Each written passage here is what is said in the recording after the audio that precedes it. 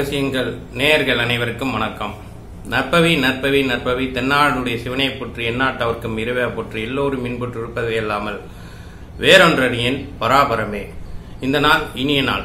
வாழ்வில் எல்லா நாளும் இனிய நாளாக அமைக்கட்டும் அதாவது நம்முடைய உடலில் சக்ராஸ் என்று சொல்லப்படக்கூடிய விஷயம் உள்ளது.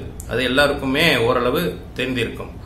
அந்த சக்ரா வந்து எந்த சக்கரா நமக்கு உதவிகரமாக இருக்கின்றது? எந்த சக்கரா நமக்கு வந்து ரொம்ப வந்து கஷ்டத்தை கொடுக்கின்றது?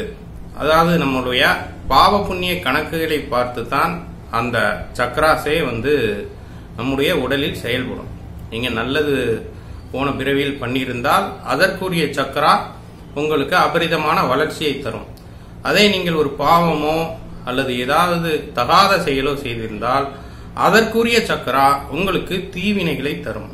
இப்போ இந்த சக்கராவை எது வந்து நமக்கு வீக்கா இருக்கு எது வந்து நமக்கு ஸ்ட்ராங்கா இருக்குன்னு கண்டுபிடிக்கிறதுக்குலாம் இப்போ மிஷின்ஸ்லாம் வந்துடுச்சு நிறைய பேர் அதை வந்து சென்னை மாதிரியான பெருநகரங்களில் அதற்கென்று தனியாக வந்து அந்த மிஷினில் நீங்கள் போய் உங்களுடைய ஆறாவை எப்படி இருக்கு?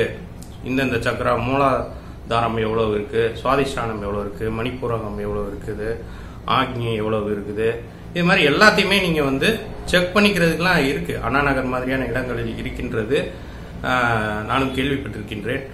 அதை நீங்க வந்து தெரிந்து கொண்டு கூட உங்களை செயல்படுத்திக் கொள்வது மிகவும் நல்லது. அது மட்டுமல்லாமல் இந்த குறியீடுகளை கொண்டு உங்களுக்கு சக்ராஸை நீங்கள் இது பண்ணிக்கலாம்.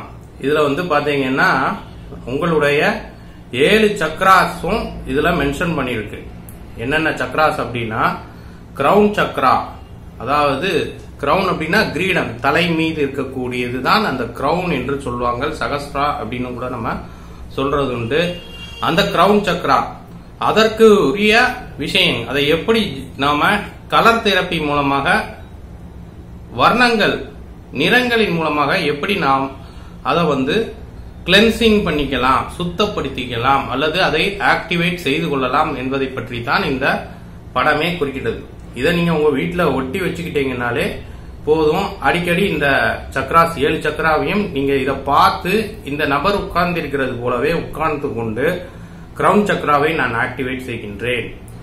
தேர்ட் ஐ என்று சொல்லப்படக்கூடிய இந்த புருவ மத்தியில் இருக்கக்கூடிய விஷயத்தை நான் ஆக்டிவேட் செய்கின்றேன். அதுக்கடுத்து இங்க தொண்டைக்குழி பகுதியில் இருக்கக்கூடிய சக்கராவை நான் ஆக்டிவேட் செய்கின்றேன். அதுக்கப்புறம் ஹார்ட் ஹார்ட் சக்ரா தான் ரொம்ப முக்கியம். ஒருவர் அன்பை பொழிகிறார் அல்லது கோபத்தை தருகிறார் என்பது இங்கிருந்தே வேலை செய்யக்கூடிய ஒரு விஷயமாக இருக்கும். அதை நான் ஆக்டிவேட் செய்கின்றேன் என்று இந்த புகைப்படத்தை பார்த்துக்கொண்டே நான் நாம் சொல்லலாம். அது மட்டுமல்லாமல் அப்படியே மூ- வ- வயிற்று பக்கம் மணிப்பூரகம் அது அப்புறம் சுவாதிஷ்டானம் இந்த மூலாதாரம்னு வருஷ வருஷம் வரும். சோலார் பிளக்சஸ் சொல்லியிருக்காங்க அதை. அப்புறம் சேக்கரல் அப்படிங்கிறது அதுக்கடுத்து ரூட் அப்படிங்கிறது ரூட் அப்படிங்கிறது தான் வேர் அப்படிங்கிறது தான் வந்து மூலாதாரமா சொல்லப்பட்டிருக்கின்றது.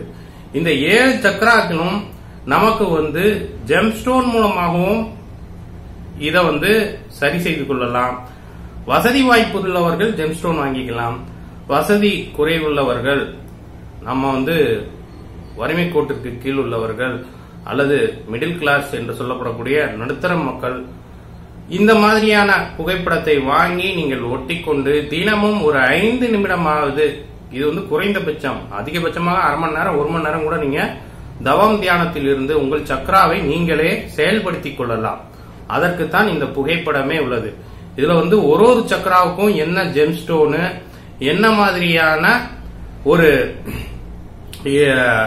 விஷயங்கள் அதாவது ஜெம்ஸ்டோன்ல உபநட்சத்திர உபநவரத்னம்னு இருக்கு. அதையும் வைத்து நீங்கள் இது பண்ணிக்கலாம். அப்புறமா வந்து இதுல எல்லா விஷயங்களும் கொடுத்துருக்காங்க. இது கர்மா சம்பந்தப்பட்ட விஷயம். எனவே இதை நீங்கள் வாங்கி ஒட்டி கொண்டீர்களானால் இதை வைத்தே நீங்கள் உங்கள் சக்ராவை ஆக்டிவேட் செய்வதற்கான விஷயங்களை நீங்களே செய்து கொள்ளலாம்.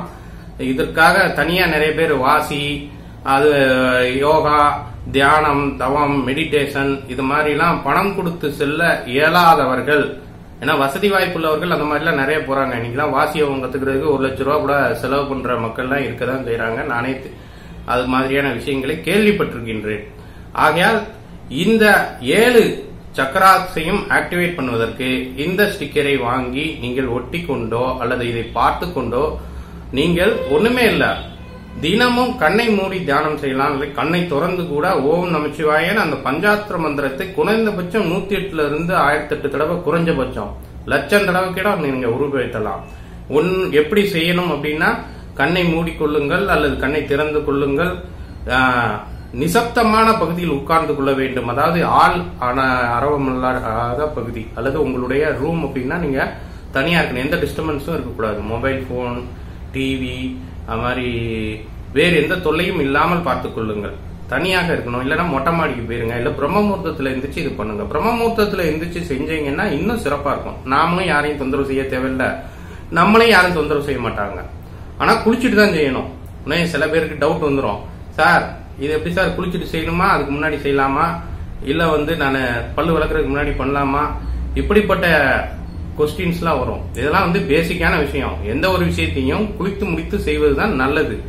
இது மாதிரியான கொஸ்டின்ஸ்லாம் டவுட்ஸ் எல்லாம் சின்ன பிள்ளைத்தனமான டவுட்ஸ் எல்லாம் யார்ட்டையுமே போய் கேட்க வேணாம். இது நமக்கு வந்து ஆறாம் அறிவு என்ற ஒன்றை கொடுத்திருக்கிறார் இறைவன். அதை உபயோகிக்கணும். ஒரு விஷயம் பண்றதா இருந்தா உடல் தூய்மை மன தூய்மை அகத் தூய்மை எல்லாமே இருக்கணும். அது இருந்தாதான் நமக்கு அது நல்லதை தருவதாக இருக்கும். எனவே இந்த சக்ராஸ் தேவைப்படுபவர்கள் இந்த ஸ்டிக்கர் தேவைப்படுபவர்கள் இந்த புகைப்படம் தேவைப்படுபவர்கள் அடியனை தொடர்பு கொள்ளுங்கள். இது கட்டணம் உண்டு இலவசம் இல்ல. இலவசமாக கேட்டு என்னை தொந்தரவு செய்ய வேண்டாம். இதற்குரிய விலையை நான் வாட்ஸ்அப்பில் தொடர்பு கொள்ளுங்கள். அடியேன் சொல்லித் தருகின்றேன். மற்றபடி நன்றி மகிழ்ச்சி வணக்கம்.